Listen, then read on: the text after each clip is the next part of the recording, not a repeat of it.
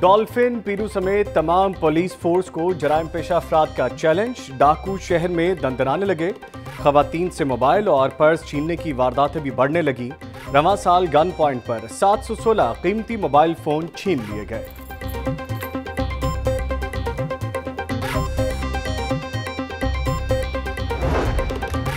سابقہ حکومت کی تعلیمی پالیسی ہزاروں اساتذہ کی ترقی میں رکاوٹ بن گئی۔ تربیتی ورکشاپ سے مشہور ترقیوں کے منتظر اساتذہ در بدر پھرنے لگے۔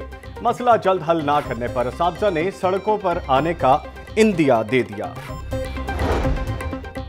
ڈسٹرکٹ ایجوکیشن اتھارٹی نے محکمہ تعلیم کے احکامات نظر انداز کر دیے۔ دو ماہ گزر گئے۔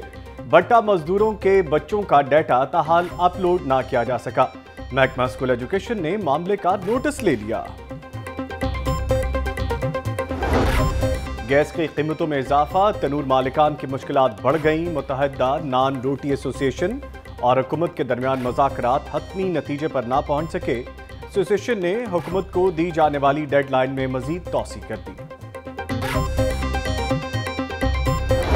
میاں محمود رشید کی آؤٹ ڈور ایڈورٹائزنگ ایسوسیشن کے وفد سے ملاقات۔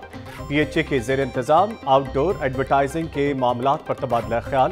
وزیر ہاؤسنگ کے وفد کو ایڈورٹائزنگ کے متعلق لاہ عمل تیار کرنے کی یقین دہانی۔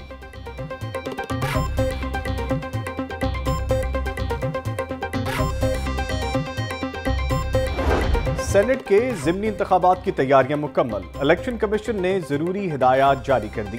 اراکین اسمبلی کے پاس پنجاب اسمبلی کا کارڈ ہونا لازم۔ پولنگ سٹیشنز کے اندر موبائل فون لانے پر پابندی آئے Sui northern gas company Lahore region gas چوروں کے خلاف متحرک۔ یو ایف جی ٹیم کی باٹا پور کے مختلف علاقوں میں کارروائیاں۔ گیس کا بڑے پیمانے پر غیر قانونی استعمال پکڑا گیا۔ فیکٹری کا غیر قانونی کنیکشن بھی منقطع۔ صوبائی وزیر ایکسائز حافظ ممتاز احمد کا ڈی جی ایکسائز دفتر کا اچانک دورہ۔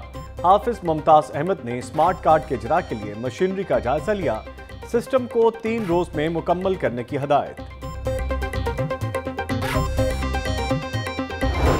ٹیوب ویلز کو فعال رکھنے کے اوقات کار طے۔ واسا ٹیوب ویلز اور ڈسپوزل سٹیشنز پر اوقات کار آویزہ کرنے کے احکامات۔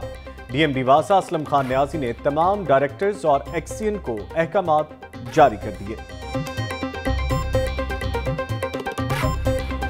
کرپشن معاشرے کا ناسور قرار نیب کے زیر اہتمام الحمرہ آرٹس کاؤنسل میں کرپشن کے عنوان سے شاعری کا مقابلہ، مختلف کالجز اور یونیورسٹیز کے طلبہ کی بھرپور شرکت۔ صوبائی وزیر میاں اسلم اقبال کی بطور مہمان خصوصی شرکت بولے، کرپشن کے خاتمے کا عزم کر رکھا ہے۔ قوم اس وقت تک ترقی نہیں کر سکتی جب تک ملک سے کرپشن ختم نہ ہو۔ نئی نسل کی حفاظت، ریاست کی ذمہ داری۔ ہاسپٹیلٹی ان میں سرچ فار جسٹس کے زیر اہتمام، بچوں کے تحفظ کے حوالے سے تقریب، صوبائی وزیر انسانی حقوق اعجاز عالم بولے، نوجوان نسل کی رہنمائی سے ہی معاشرے میں بہتری آئے گی۔ تعصبات سے بالتر ہو کر ہر بچے کے ساتھ یکساں سلوک ممکن بنانا ہے۔ اور اینٹی بایوٹک کا فائدہ کم، نقصان زیادہ۔ یو سی پی میں ورلڈ اینٹی بایوٹک ویک کا تیسرا روز۔ طبی ماہرین کے طلبہ کو اینٹی بایوٹک کے فوائد اور نقصانات سے متعلق لیکچرز آگاہی واک کا بھی اہتمام۔